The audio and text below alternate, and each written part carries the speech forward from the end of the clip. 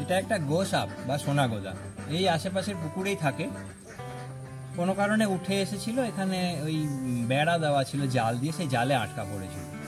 Phone করেছিলেন আশেপাশের বাড়ির মানুষজন, এসে এটাকে উদ্ধার করলাম তো প্রায় আড়াই ফুট হবে, আড়াই ফুট। প্রায় আড়াই ফুট মতো লম্বা পা নিয়ে। এটা এমনিতে খুব স্লো মনে হয় পেটে খাবারও রয়েছে।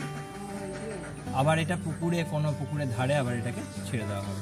এটা খড়ির সাপের মতো ফোঁস ফোঁস করেই শব্দ করে, ফোঁসায় খুব। জোর। সেই জন্য দেখতে না পাওয়া গেলে অনেকে লেজটা দেখে খড়ির সাপ বলেই ভুল করে।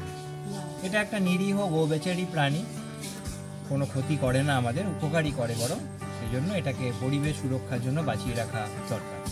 ধন্যবাদ।